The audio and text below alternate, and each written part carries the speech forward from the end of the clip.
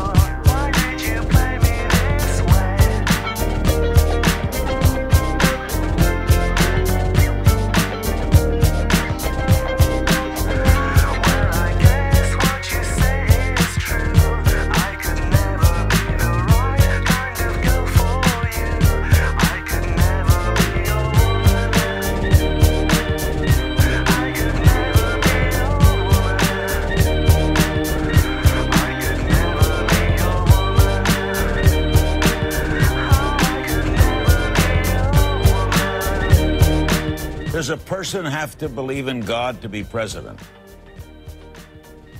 Uh, I would say so. I, I couldn't vote for a person who was an atheist because I would think that uh, I think that, that the presidency is a job too big for one person.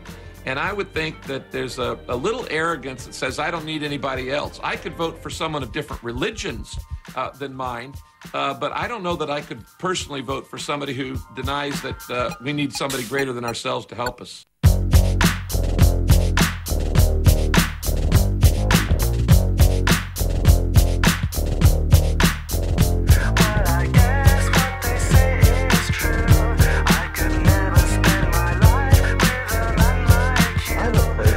To having a brother and sister be together. Call that marriage.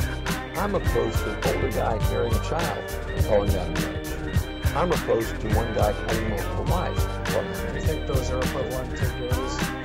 Oh, I do. Supported Prop 8 really was a free speech issue.